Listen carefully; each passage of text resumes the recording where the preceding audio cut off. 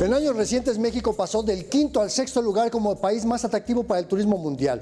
A decir de especialistas, esto no representa pérdidas importantes y sobre todo si consideramos que a pesar del aumento de la violencia, el turismo sigue llegando. Como podemos ver aquí en esta gráfica, los lugares más atractivos del turismo están en estados con altos índices de delincuencia, esto de acuerdo con las cifras oficiales. ¿Cómo se encuentra entonces el turismo en México? Veamos.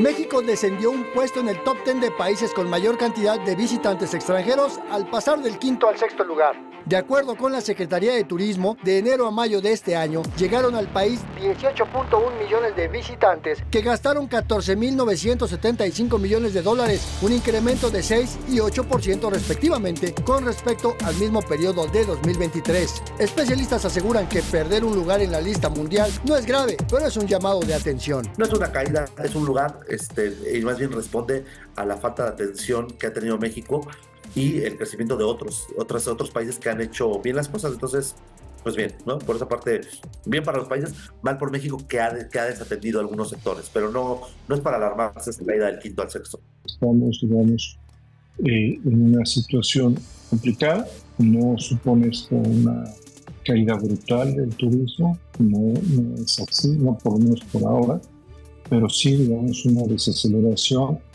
a costa de otros destinos. En el ranking mundial, México ocupa el sexto lugar en visitas, pero en captación de recursos no se encuentra dentro del top 10 que encabeza Estados Unidos. Esto significa que aunque el país recibe una enorme cantidad de turistas que no gastan mucho ni generan ganancia en las localidades que visitan, porque privilegian su estancia en los hoteles de gran turismo bajo el modelo de todo incluido. La rama económica es pequeñita para la cantidad de turistas que vienen y no gastan que, también es un turismo que deje a, la, comunidad. El Barómetro Mundial de Turismo de la Organización Mundial de Turismo indica que de 2019, año previo a la pandemia, a 2023, México tuvo una caída de 6% en cuanto al rendimiento de sus destinos turísticos, contra un aumento de 56% que tuvieron países como Arabia Saudita o Albania, o frente al 25% de rendimiento que tuvo República Dominicana en el mismo periodo. El reto será mantener la atracción de visitantes, pero que gasten más, pues en el primer trimestre de 2024 los destinos preferidos en América son El Salvador, Islas Vírgenes, Curazao, Islas Turcas y Caicos, Guatemala y Colombia.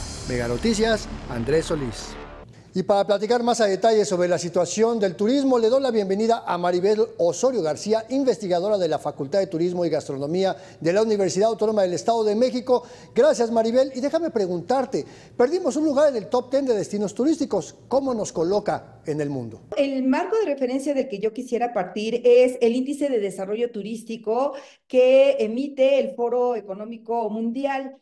Eh, me, mm, eh, prefiero esta, eh, referencia, prefiero tomarlo porque es mucho más completo. Es decir, en el 2019 todavía se promovía como índice de competitividad.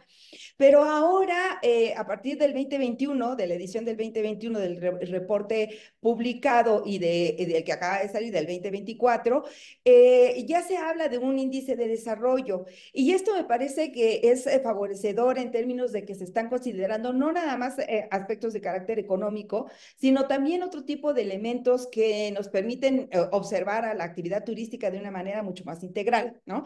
Por ejemplo, el, índice de desarrollo tiene eh, eh, que, se aplica también a nivel internacional y que nos permite reconocernos frente a, los pares y una gran cantidad de países eh, vinculados también en el mercado turístico dentro de la actividad turística, nos permite reconocer cuatro pilares que son los que ahorita lo, constituyen con una gran cantidad de indicadores.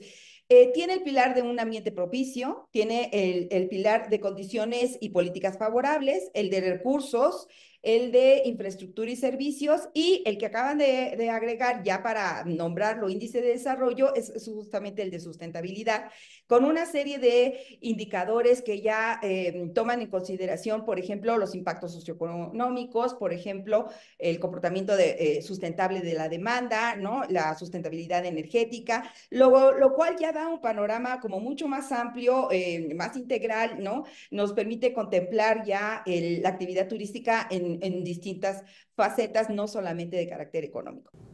En este índice que mencionas, entonces, ¿qué lugar ocupa nuestro país? Eh, dentro de este índice, en el 2019, México eh, estuvo en el lugar 19, precisamente, o, dentro de esta escala, dentro de este eh, eh, posicionamiento de, los países. Pero una vez que cambia la metodología para un índice de, de desarrollo turístico, México desciende hasta el lugar 40 ¿no? dentro de esta estadística. Si bien es cierto, acabamos de remontar en el 2024 al lugar 38, aún no recuperamos, dijéramos, este posicionamiento que teníamos con antelación.